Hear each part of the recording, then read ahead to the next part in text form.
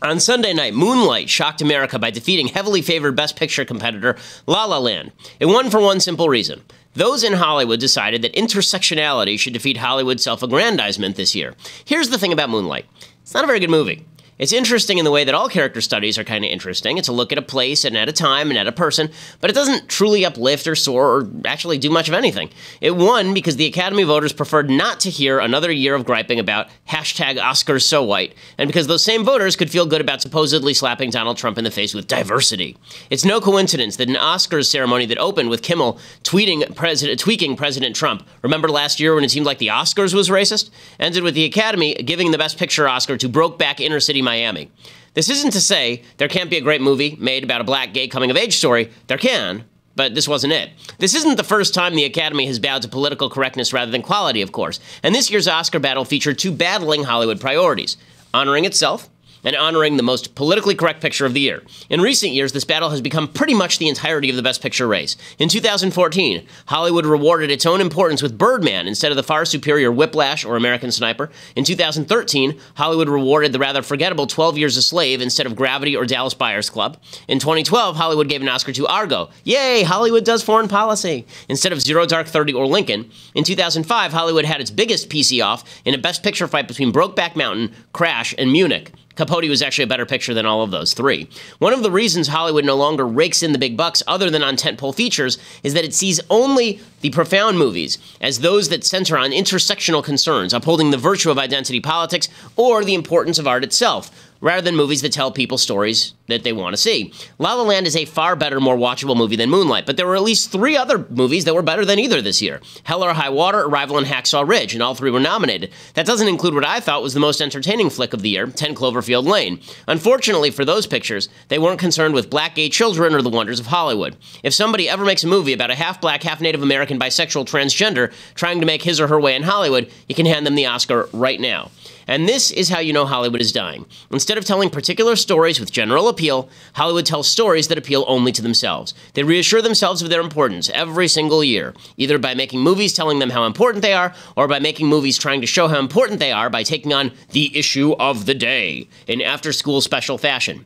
It doesn't make for good entertainment, which is why TV, which actually tells stories rather than getting up hung up on the self-important nonsense of the movie industry, now outranks the movie industry in terms of quality. I'm Ben Shapiro. This is The Ben Shapiro Show.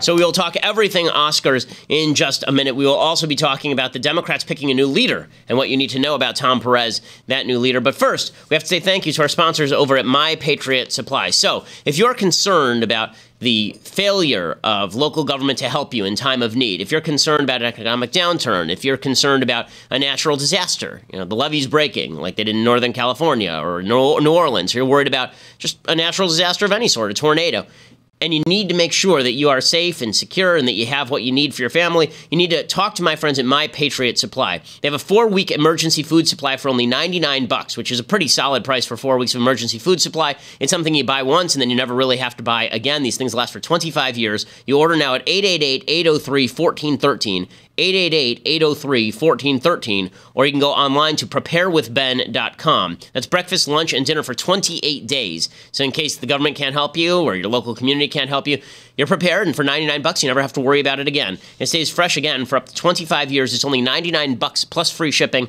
Limit two per caller because you don't really have to worry about it beyond that. 888-803-1413 at preparewithben.com. Again, if you're truly concerned, you should be, about making sure your family has enough food to eat. If a crisis hits, whether it's an economic crisis or a natural disaster, you talk to my friends over at My Patriot Supply. Living in California, this is one of the companies that we turn to with regard to, to helping out friends and family given the fact that, that earthquakes are a real possibility out here and everywhere across the country, there is the possibility of natural disaster. You need to talk to my friends over at My Patriot Supply, 888-803-1413, 888-803-1413. Preparewithben.com is the place to go online to get your My Patriot Supply four-week supply of emergency food. Okay, so we can jump right into the Oscars. So the big winner at the Oscars last night was not Moonlight. The big winner at the Oscars last night was Donald Trump. That was the big winner at the Oscars last night because Donald Trump basically could sit there and watch Hollywood make a mockery of itself. Uh, Sally Kohn, one of my favorite people on the left of MSNBC and CNN fan, You remember her hands up, don't shoot. Sally Kohn tweeted out right before the Oscars that she hoped every single speech was political. To which I tweeted, so does, so does every Republican in the country.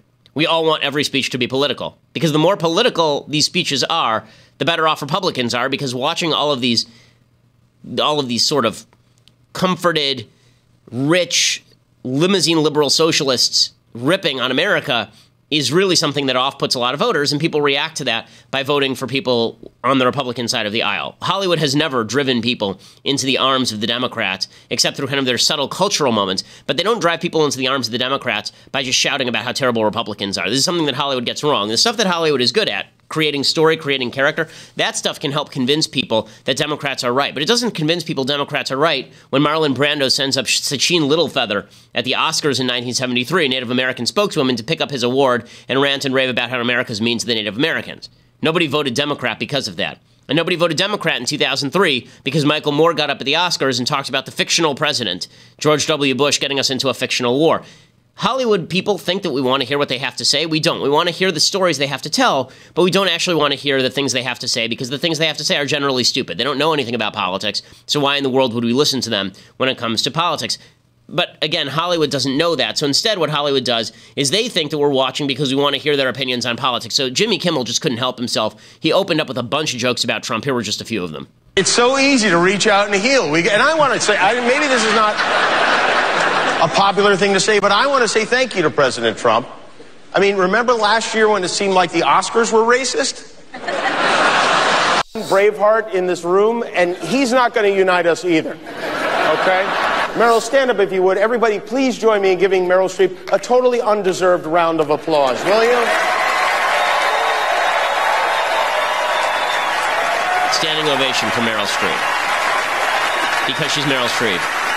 She's like the Beyonce of actresses. The highly overrated Meryl Streep, everyone. She actually is overrated. she hasn't been good for 30 years. And it was it was joke after joke about Donald Trump and how terrible Trump was. And look how wonderful we are. And we love Meryl Streep. And Meryl Streep's the best because she made fun of Donald Trump that one time at some ceremony. And yeah, we love her. And sure, she was in a really crappy movie, Florence Foster Jenkins, that nobody ever saw. But it doesn't matter because Meryl Streep, guys, Meryl Streep.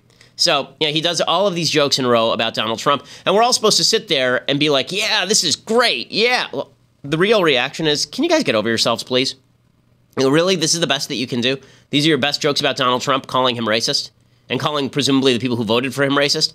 And that's a great way to alienate an audience that's already not watching any of your Best Picture nominees. Nothing that was nominated for Best Picture this year did well at the box office. I think the only exception, uh, as far as a movie that did well at the box office, uh, was Arrival. Uh, I'm not aware of any other movie that was nominated for Best Picture this year that did over 100 million in business. Did Arrival end up doing 100 million in business? If it did, it was real close. I'll so it, it was it was it was not it was not you know a blockbuster blowout out of the ballpark. It was a good movie. I enjoyed it, but all of the movies that were nominated this year again were seen by pretty much the people in this particular room. And then it didn't stop there. The self-aggrandizement of Hollywood is just unending. Viola Davis won Best Supporting Actress for her role in Suicide Squad. Um, Oh no no no! Sorry, it was it was no not for Suicide Squad. It was it was for her role in uh, what was the name of that movie? Fences, Fences. Sorry, sorry, I got that wrong. Um, but Viola Davis, who was I thought she was fantastic in Suicide Squad. That's why I thought that she had to win. So was that guy who like shot fire from his fingers and everything. Anyway, Viola Davis, she gets up and she gives this speech. I became an artist, and thank God I did because we are the only profession that celebrates what it means to live a life.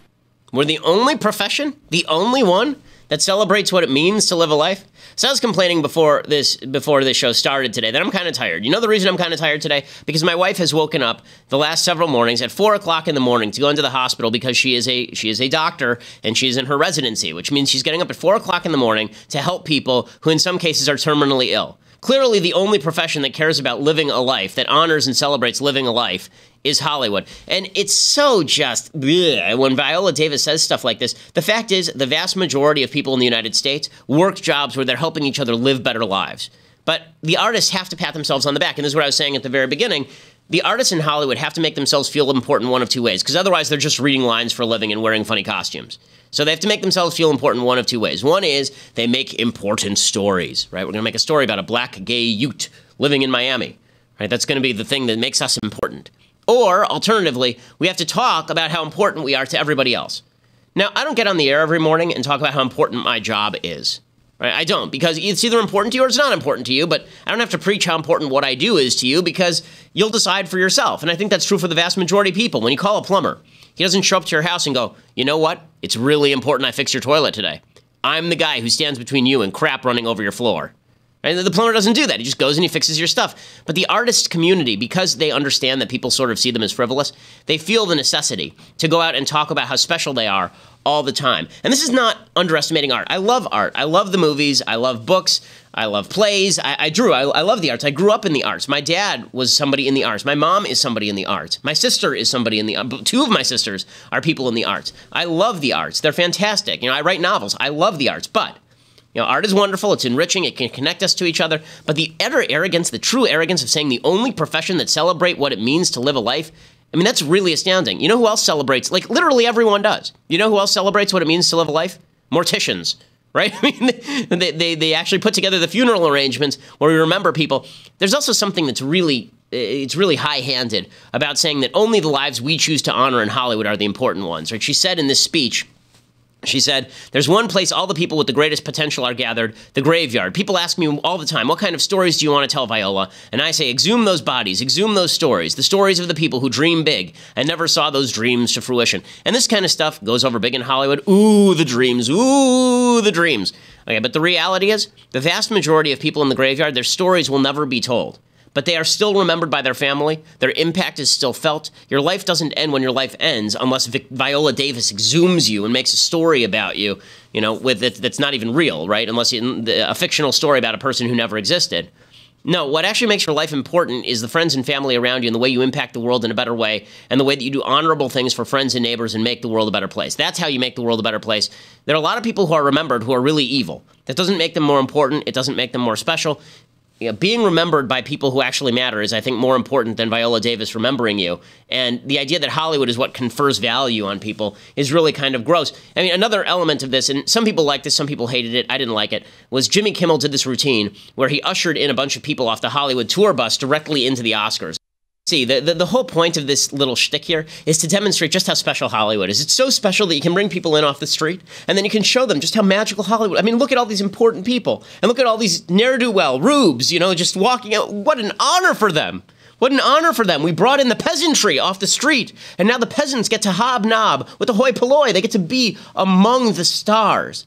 See, what would have been great, honestly, and what would have been funnier, is if Kimmel had before this taken a bunch of the stars to visit people on their actual jobs right? Had taken like they make movies about these actual jobs. It would have been really funny to take Chris Pine, for example, in Hell or High Water, and take him to an oil derrick and like show him the people working in oil derrick, right? Or it'd be really funny to take Nicole Kidman and take her down to the local plumbers union and have her see what people are actually doing over there. Because that would have said, okay, look, we're Hollywood and we know what we do is kind of frivolous and it brings meaning to some people, but we also understand that what you do is really important. Instead, this whole event is all about how Hollywood is super duper important to all of our lives. And look, it's fun. I enjoy the Oscars as much as the next guy. Although I admit I did not watch a lot of it live last night.